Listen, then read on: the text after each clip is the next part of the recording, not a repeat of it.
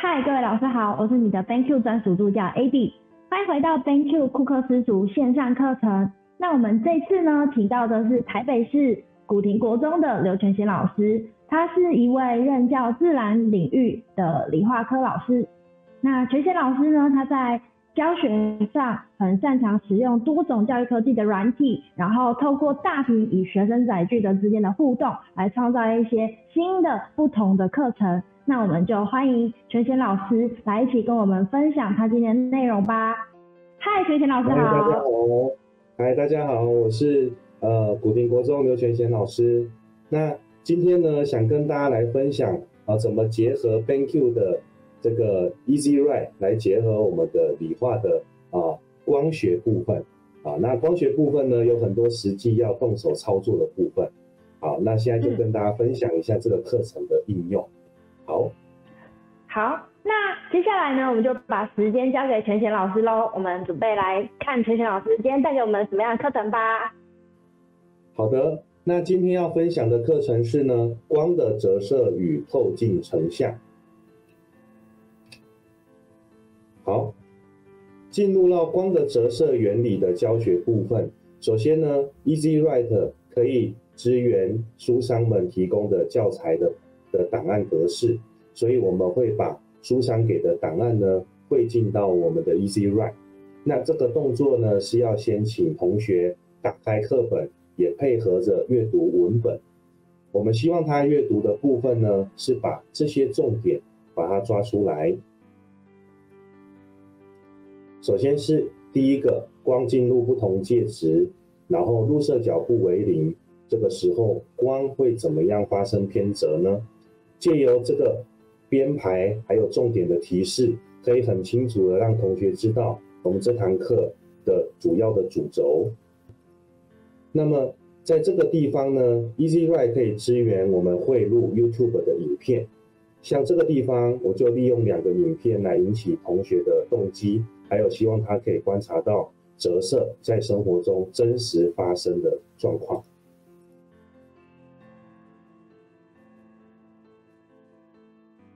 那么这个影片呢，它是说有一个有一个人在一个圆弧形的游泳池里面，好，有从影片可以看到呢，他的头部跟身体看起来好像是分离的。这个动作呢，是让同学可以观察啊，在这个现象中是不是发生了什么科学的现象啊？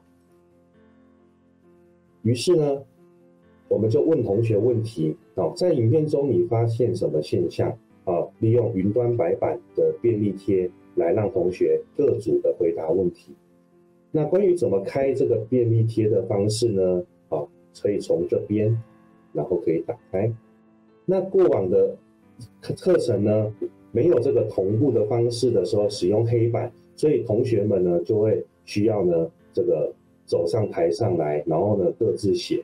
那现在呢，我们利用这个线上的线上贴。便利贴的方式，让同学扫这个 QR code，用平板就可以进入到我们这个讨论区。好，那就如同荧幕上面所看到的呢，同学们每一组的讨论就可以立即性的把他们讨论的结果利用便利贴的方式贴在白板上，同时老师呢就可以在这边做讨论。啊，因为有一些同学讨论的呢是很关键的观念，那有一些同学可能看到的点呢不是我们希望他观察的重点，所以这时候呢，老师可以也可以使用这个聚光灯的方式，啊，可以带同学，因为上面有好几个便利贴，我们可以带着他们去看，一个一个看，看到这个讨论的重点是什么。那于是呢，到下一页，我们就会希望同学啊去了解一下光的折射里面有哪些重要的名词，哦，所以在这个整个大屏的显示上面，就会非常的清楚的让同学了解到，哦，折射呢有入射角啦，有法线啦，有折射角，还有介质的快慢的不同。接下来呢，我们会希望同学呢能够做线上模拟的实验，在现在的科技的。这个载具啊，还有网络呢，都做得很完善啊，所以就有别于以往的，我们一定要把很多的装置啊设备啊提早准备好放在实验桌。像这个地方，我们就利用 PHET 的动画这个线上模拟实验室，在这个地方呢 E Z Y 的可以支援啊，在这里插入一个超连接。那我们会同希望同学呢用平板扫这个 QR code，同时老师可以点开这超链接，马上就可以做一个立即性的示范。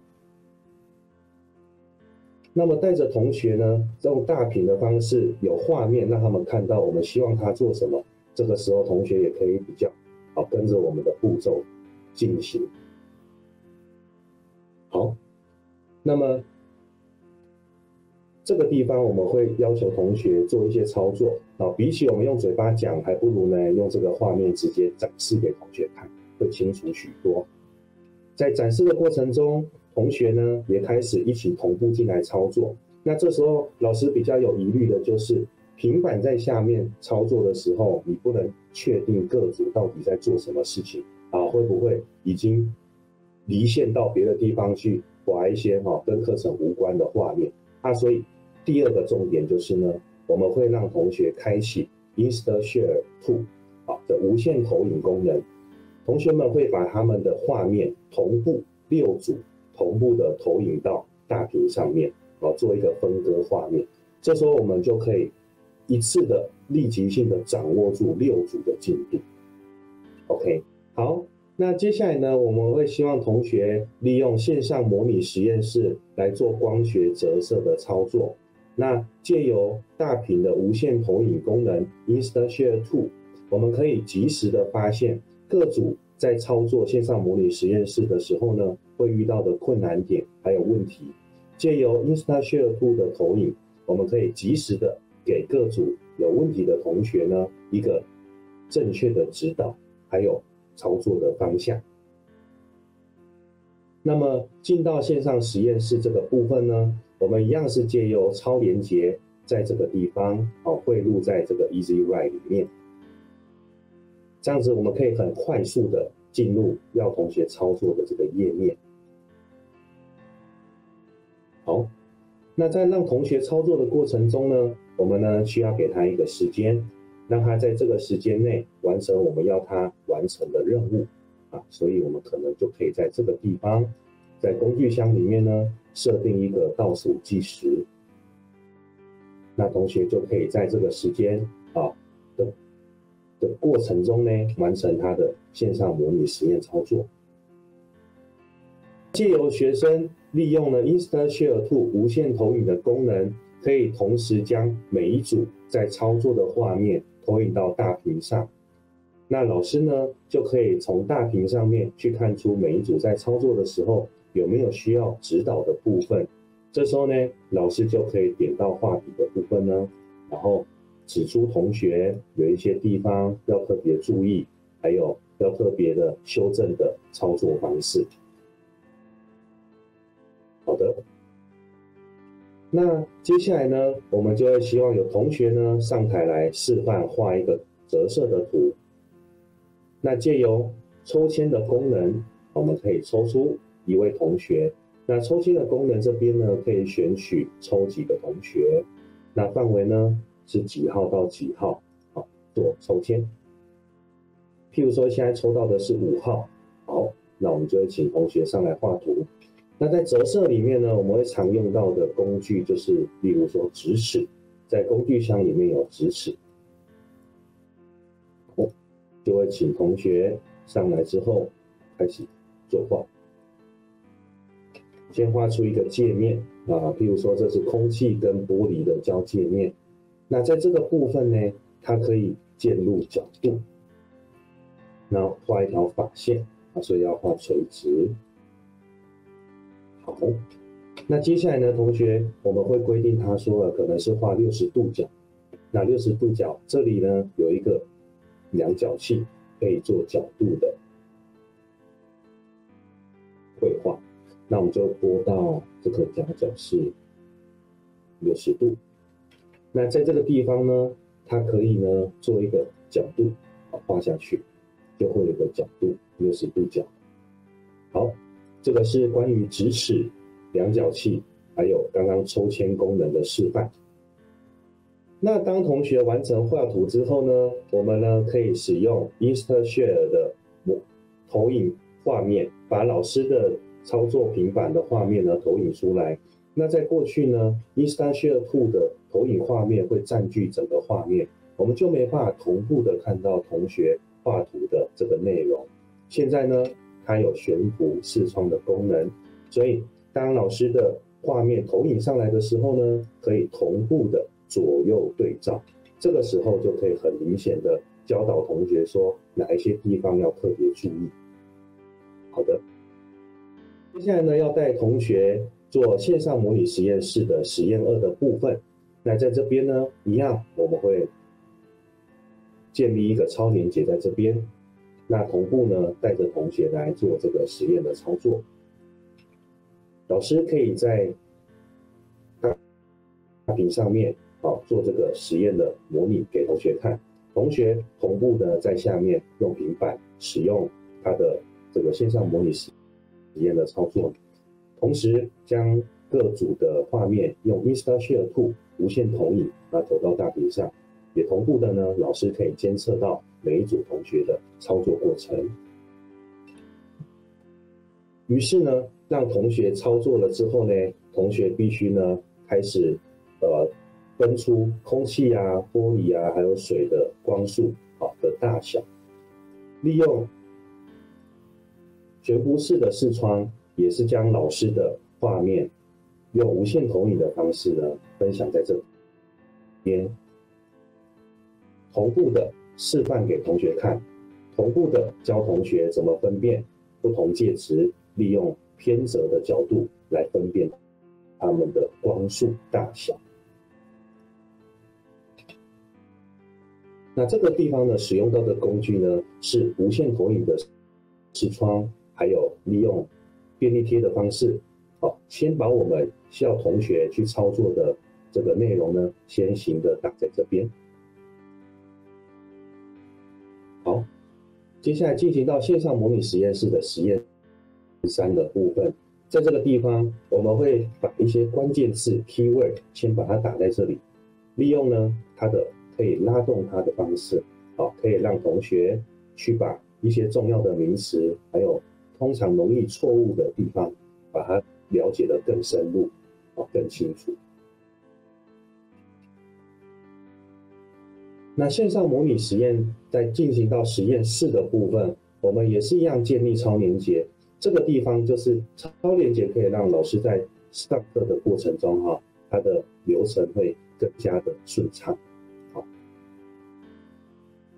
同步的让同学在他的平板上做操作。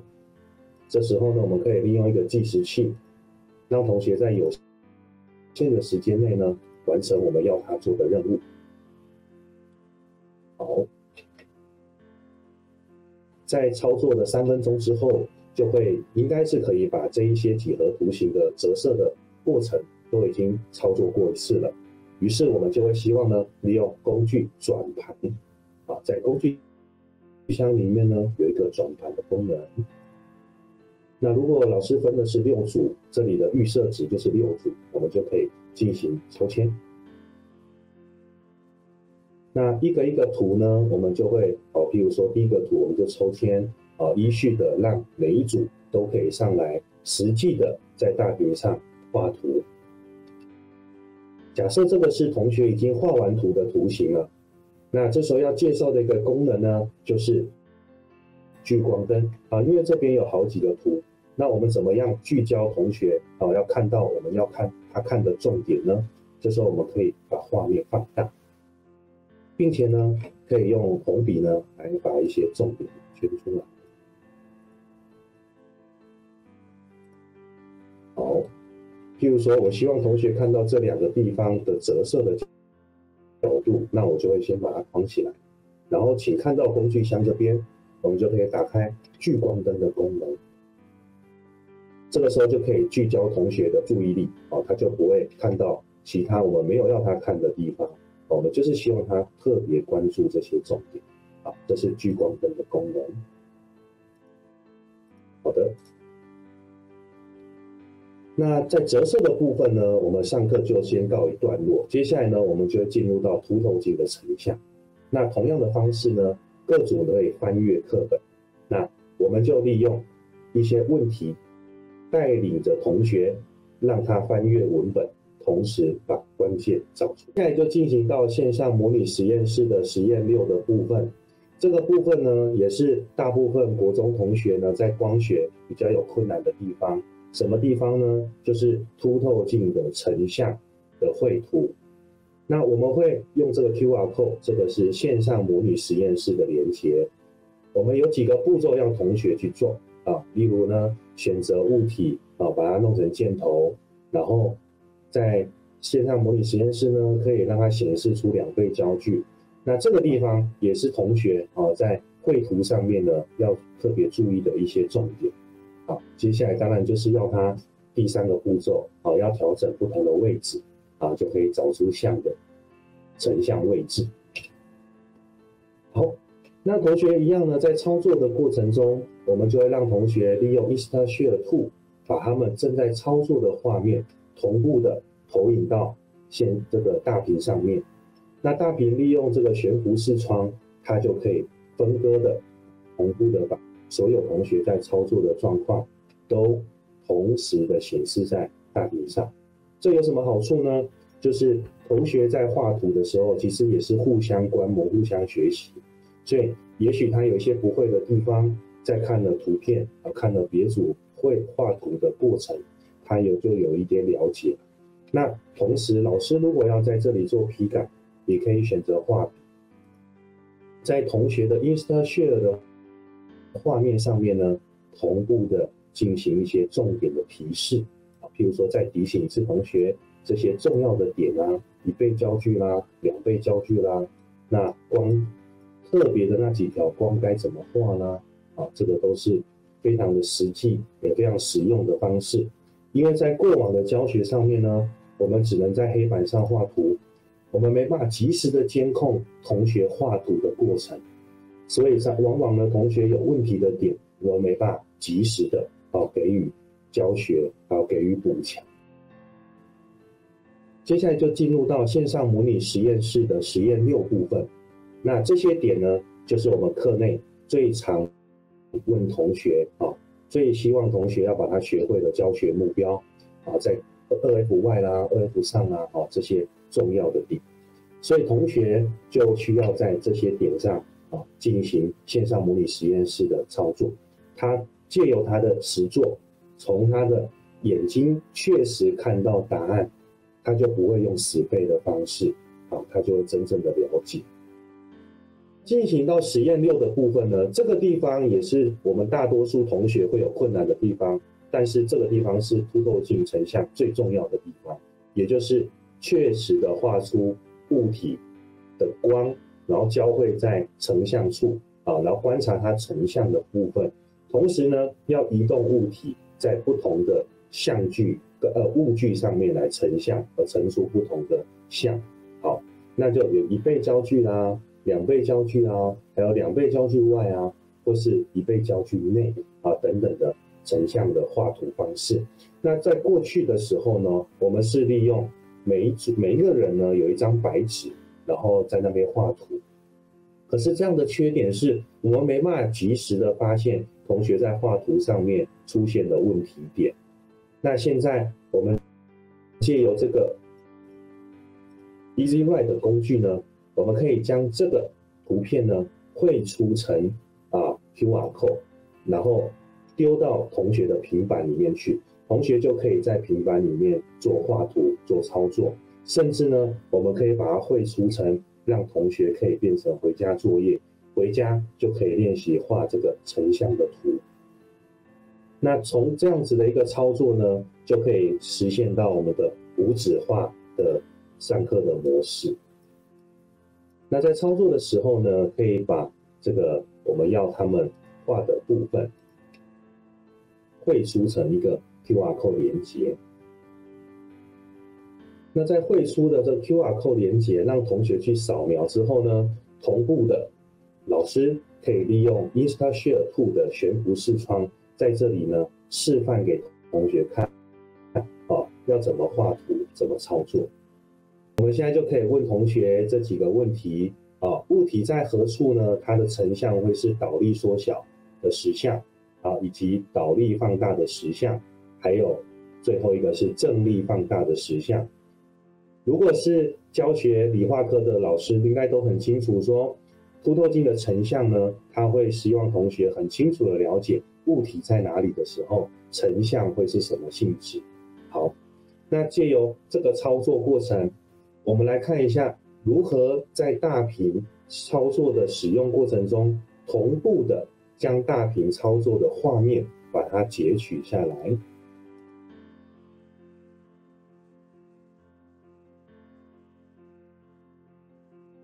这个影片呢，是让我们知道说，我们在操作的过程中，都大屏是有一个功能呢，是可以帮我们把操作的过过程把它记录下来。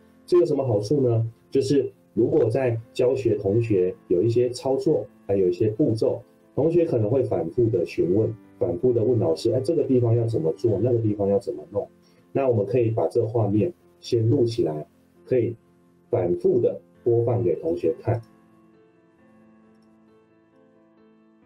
好的，那这个就是今天跟各位大家分享的哦，关于光学的折射以及凸透镜成像的部分，借由融入到 BenQ 大屏里面，包含了很多的工具，可以更加的实现了我们的即时性，还有无纸化，还有同同步的让同学操作，互相观摩这样子的教学的目标。